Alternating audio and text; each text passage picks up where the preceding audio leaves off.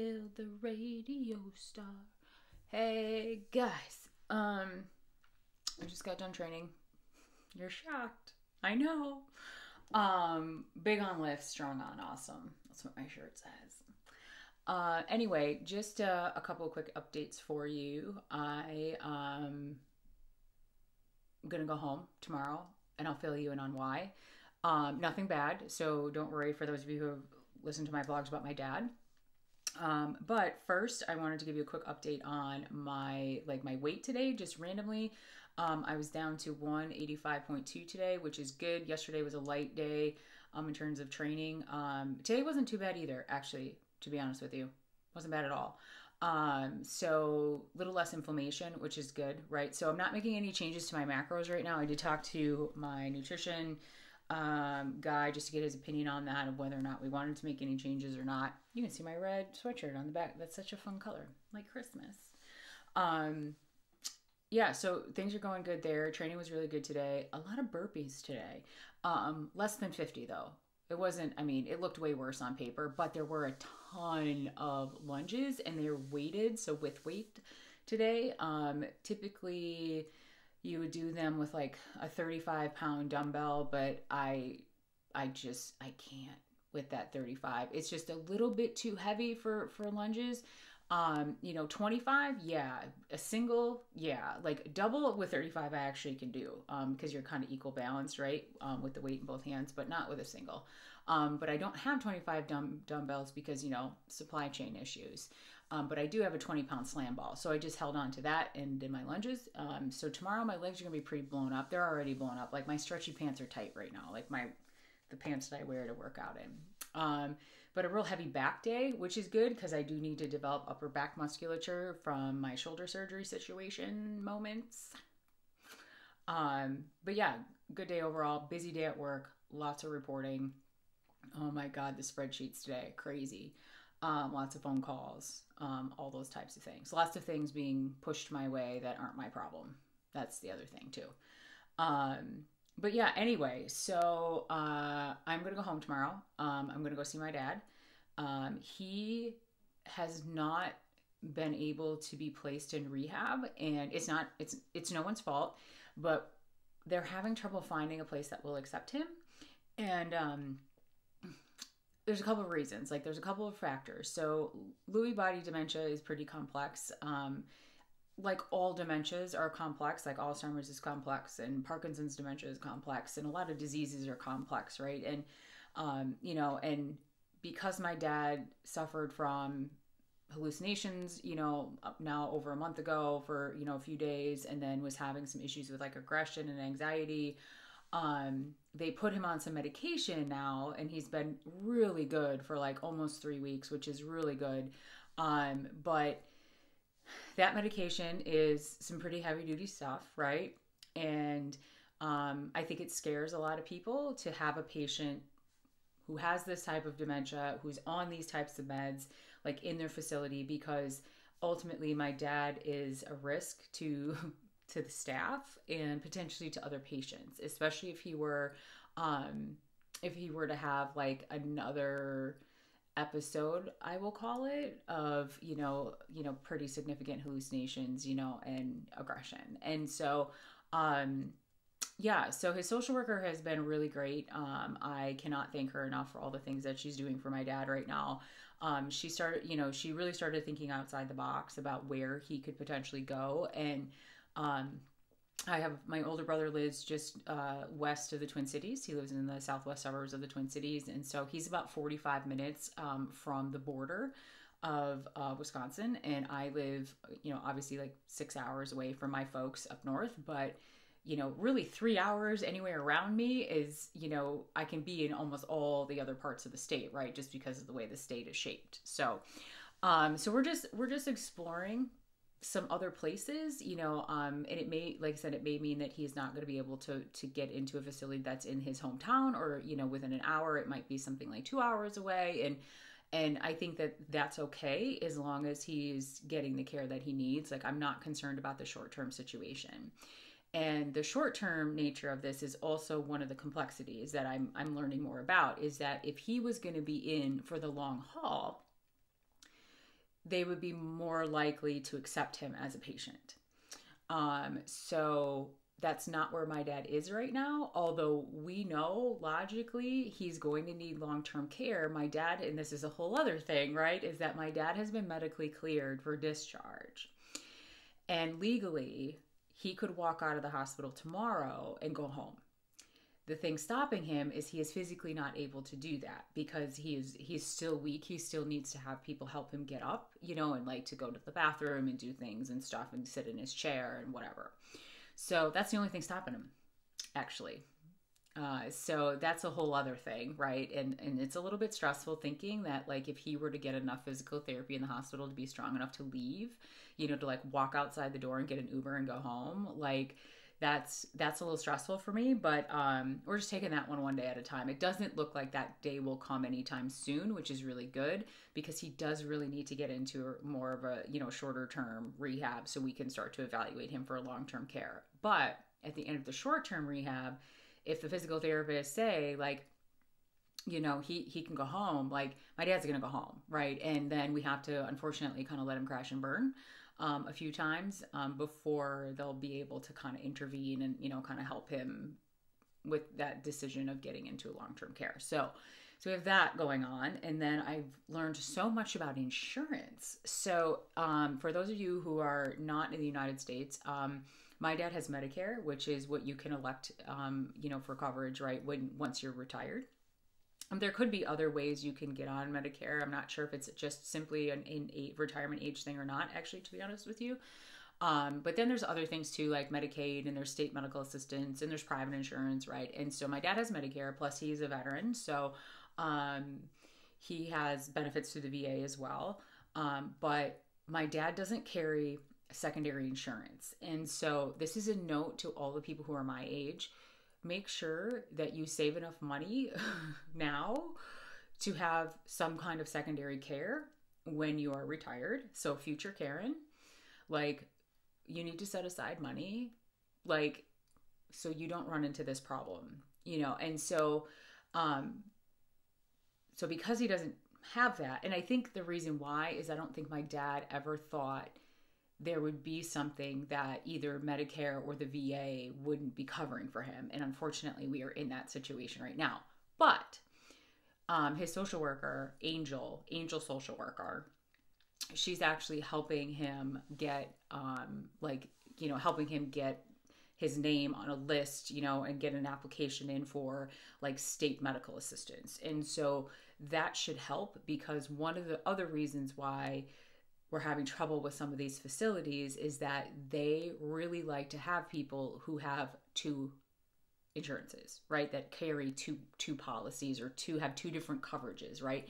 So that could be Medicare and like Blue Cross, it could be Medicare and Medicaid, it could be Medicare and medical assistance, you know, it could be Medi- Medicare and cash, right? You know, like they it's it's really it's really cutthroat, right? And it's there's so there's so much, right, that goes into it. And so anyway, so just if you're my age or younger, just make sure that you keep that in mind. Um, and who knows, right? Like what things look like in 30 years when you're getting ready to retire. But um, it, this may not be an issue, right? They could have a totally different system at that point, you know? And so, but anyway, so that's where my dad's at right now, but he's doing well. Um, he does not know that I'm coming home. I did not tell him that um, this week um, because I'm not sure if my dad is aware of like time right now. So like he knows he talks to me and he knows he's been in the hospital for like now it's like 5 weeks or more than 5 weeks, maybe 6 weeks this weekend. It'll be 6 weeks. He knows that, but he doesn't necessarily seem to pick up on when the last time he talked to me was. So I didn't want to tell him like, "Oh, I'm coming home on Saturday."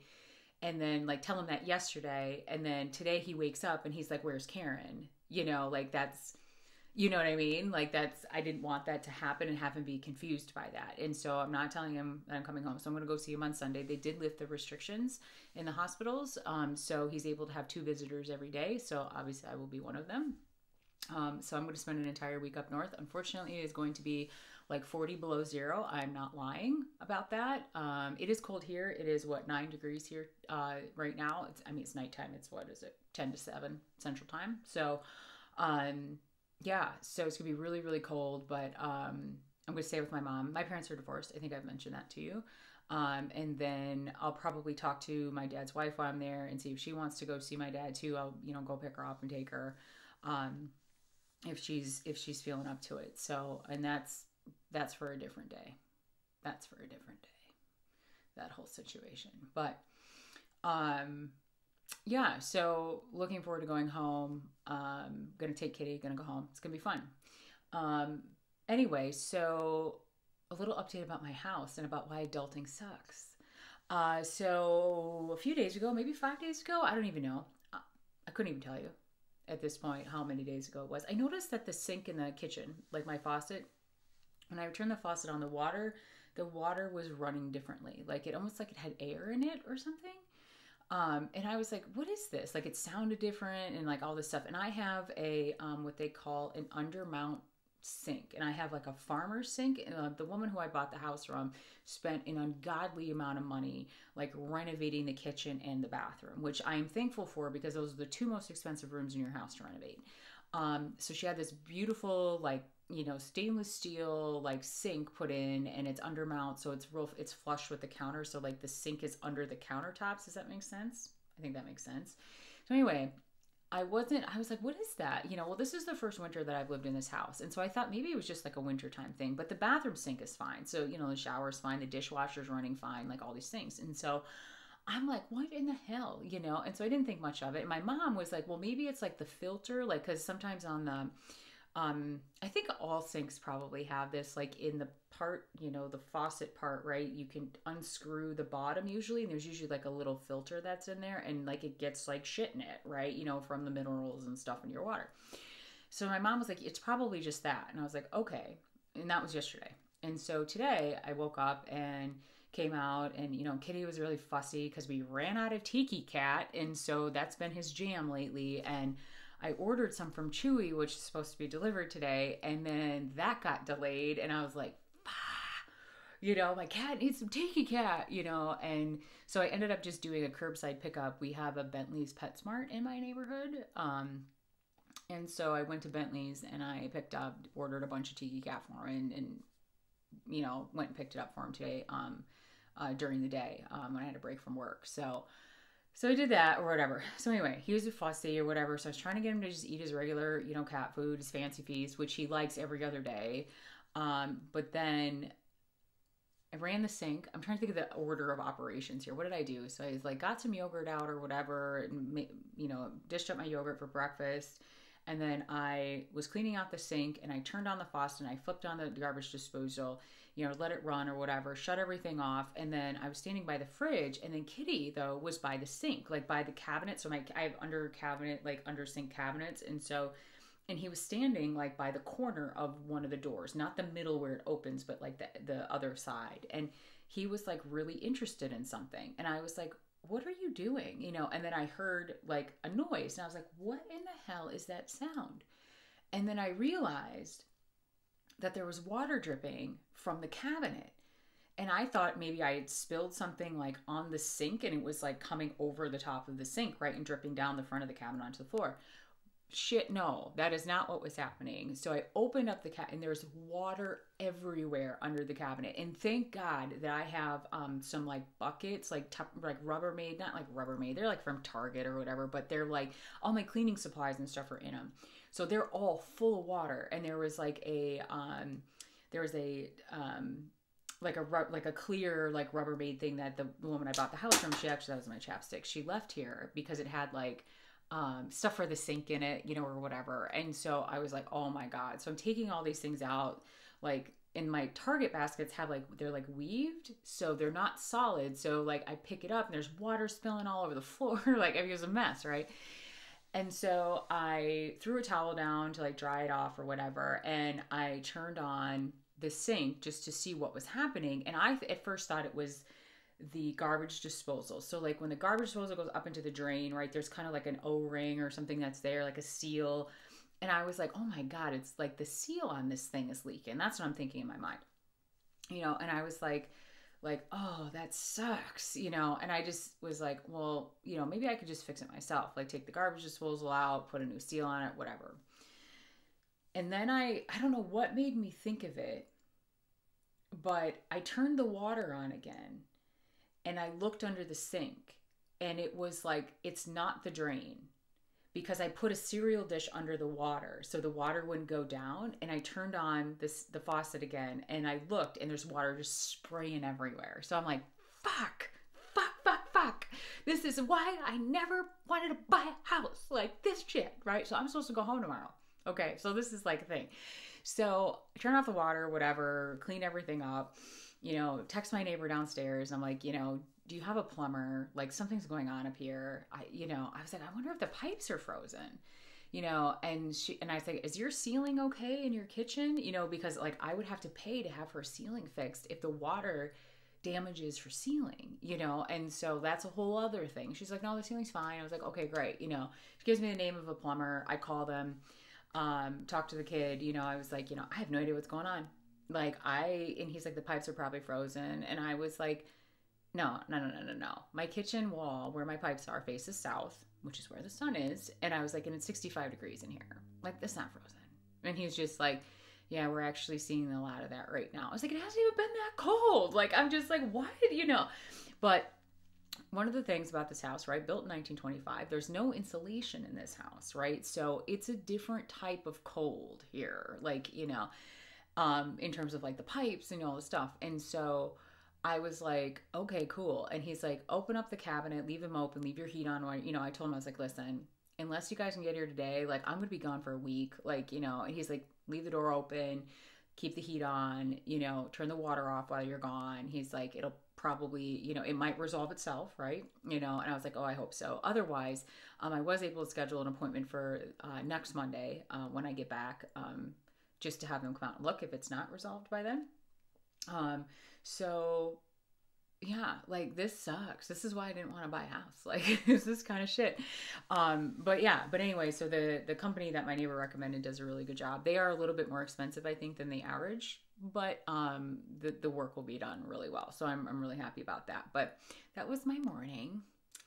You know, but I am I'm excited to go home. Um, pretty much packed. I just have to make a, a quick list to make sure I don't forget anything. I forget stupid shit like phone chargers and like laptop chargers and you know and i have two laptops right i have my, my personal one that will come with me and then i have my um, my work laptop that'll have to come with me too i have two cell phones because i have a personal and a work cell phone um, i obviously do not mix business and pleasure that's pretty much what this means um, you know like I have my watch, which needs a charger. I have everything needs a charger. Like it's crazy. So anyway, so that's a little bit about uh, what's going on here today. Otherwise things are going good. Oh uh, my mom and my grandma um, will both be getting their first uh, covid shot uh, next week on tuesday. So i'm really excited about that for them. Um, gonna bring some stuff home with me to train. That should be fun. I've done that in the past. I bring home some dumbbells and kettlebells and bands and stuff and i can train at my mom's and um, her dog though gets really upset when i do push-ups like i think he thinks that i'm falling on the floor so he like comes over and tries to like nudge me as I'm doing push-ups, you know. So should be fun. Um, but you know, maybe I'll take a picture of Mosley when I'm home. So my mom has a uh, a cream chow, like a chow chow, the dog the dog with the purple tongue. Eh.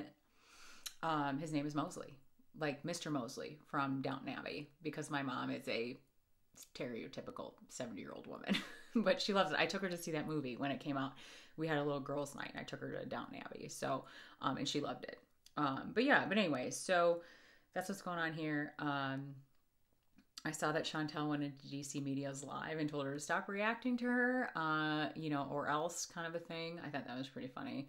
Um, but anyway, um, that's about it for the drama, I think, today. I'm not really, I haven't been up on the drama today. I've been so busy, like, haven't been able to catch up on it. So, um, but anyway, hope you guys all had a fantastic Friday. Have a fantastic weekend. If you're anywhere uh, in Texas and you guys get snow, please stay in your house. Like, um, it was really awful. So, a lot of people died this week in Texas in the pileups that they were having, like in the Austin area and Fort Worth area or wherever it was. Um, I forget, and I feel rude that I don't know. Maybe Fort Worth, I feel although it could have been Austin too.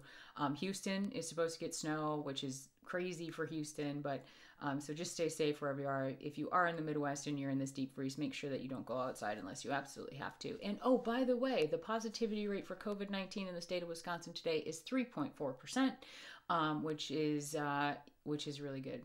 It's um, it, we've been trending downward since November. Um, the last four months have been really good. Um, we are, I think, 10th right now in the nation for vaccinations. Um, and it's not really a vaccination, it's just like a flu shot. Like, a, it's not an inoculation. It's not like, oh, you can never get COVID. It's not one of those things. It's more like the flu shot. So, the um, for the COVID shot, we're I think 10th in the nation right now. So um, we're doing okay. We're doing okay. It's a small state though. We only have five and a half million people or so. So it's um, shouldn't take us too long to get through all the high risk folks and um, you know and then get on to the general population and stuff. So I have some thoughts though about the whole we're going to be wearing masks forever. No, we're not. Like stop saying that, you know. so um, but that's for a different day, guys. So anyway, um, Thanks for hanging out with me. I really do appreciate it. Um, like the fancy YouTubers say, if you like this channel, go ahead and like, comment, and subscribe. Um, click the bell so you know every single time that I post. Um, otherwise, uh, a couple of channels that I like to follow obviously, Shakara Transformations, my girl, love her. Uh, Pulpy Syntax um, as well. That's my guy, love him. Um, you know, and then who else? Um, who else do I do? Young Dumb Honey Bun. She's pretty funny too. Um, and then I do follow Jamie French. Um, she's a makeup artist. She makes my life better.